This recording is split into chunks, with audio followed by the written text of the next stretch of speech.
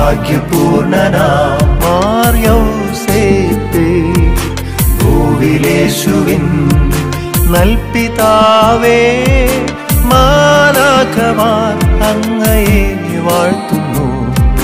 മാനവ മാധ്യസ്ഥ്യം യാചിച്ചിടുന്നു വിശുദ്ധ യേശുപിതാവിന്റെ ജീവിതത്തിൽ വിളങ്ങി നിന്നിരുന്ന പല ഗുണങ്ങളെക്കുറിച്ചും നാം ചിന്തിച്ചിട്ടുണ്ട് ധ്യാനിച്ചിട്ടുണ്ട് കേട്ടിട്ടുണ്ട്.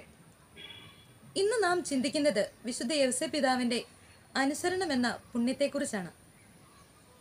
വിശുദ്ധ യവസപിതാവ് നീതിമാൻ എന്ന് വിളിക്കപ്പെടാൻ കാരണമെന്ന് എന്താണ് എന്ന് ഞാൻ ചിന്തിച്ചപ്പോൾ എനിക്ക് മനസ്സിലായത്. വിശുദ്ധ യവസപിതാവ് അനുസരണവും അദ്ദേഹത്തിന്റെ വിധേയത്വവും ഒന്നുകൊണ്ട് മാത്രമാണ് എന്നുള്ളതാണ്. തിരിച്ചൊരു ചോദ്യം പോലും ചോദിക്കാതെ വാക്കുകളെ മാത്രം അനുസരിച്ച ഒരു വ്യക്തിത്വമായിരുന്നു വിശുദ്ധ യവസ പിതാവിന്റേത്.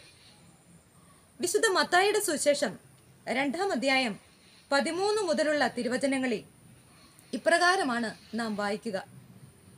ഈജിപ്തിലേക്കുള്ള പാലായനത്തെക്കുറിച്ചാണ്.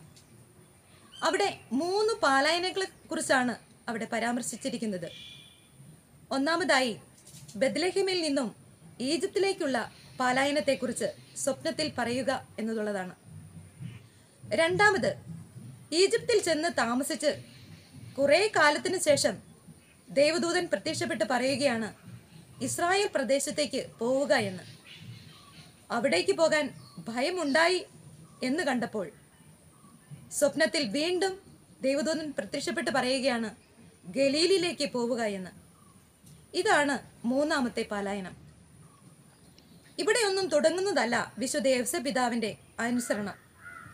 മറിച്ച് പരിശുദ്ധ കന്യകാമറിയത്തെ ഭാര്യയായി സ്വീകരിക്കാൻ ശങ്ക തോന്നിയപ്പോൾ തടസ്സം നേരിട്ടപ്പോൾ വിശുദ്ധ യൗസേ പിതാവ് ചിന്തിക്കുകയാണ് അവളെ രഹസ്യമായി ഉപേക്ഷിക്കാമെന്ന്. എന്നാൽ ദൈവദൂതൻ പ്രത്യക്ഷപ്പെട്ട് അവളോട് പറഞ്ഞു നീ അവളെ ഭാര്യയായി സ്വീകരിക്കാൻ ഒട്ടും ശങ്കിക്കണ്ട. ഇവിടെ നിന്ന് ആരംഭിക്കുകയാണ് തന്റെ ജീവിതത്തിന്റെ എല്ലാ സന്തോഷങ്ങളെയും മാറ്റിവെച്ച് വിധേയത്വപ്പെട്ട് അനുസരണയോട് ജീവിച്ച വിശുദ്ധ യേശുപിതാവിന്റെ ജീവിതം. ഒരു വ്യക്തിക്ക് അനുസരിക്കാൻ കഴിയണമെങ്കിൽ ഒന്നാമതായി തന്റെ ഇഷ്ടങ്ങളും സ്വാർത്ഥ താല്പര്യങ്ങളും മാറ്റിവെക്കണം. രണ്ടാമത് വിധേയപ്പെടണം. മൂന്നാമത് പറയുന്ന വ്യക്തിയിൽ വിശ്വാസം അർപ്പിക്കണം. ഈ മൂന്ന് കാര്യങ്ങളാണ് വിശുദ്ധ പിതാവിൽ ഉണ്ടായിരുന്നത്.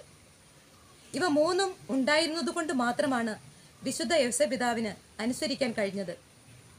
നമുക്കും പ്രാർത്ഥിക്കാം. നീതിമാനായ വിശുദ്ധ യവസ പിതാവെ ഞങ്ങളായിരിക്കുന്ന ഇടങ്ങളിൽ അനുസരണയോടും വിധേയത്വത്തോടും കൂടി ജീവിക്കാൻ ഞങ്ങൾക്ക് വേണ്ടിയും എന്നും മാധ്യസ്ഥം വഹിക്കണമേ എന്ന്.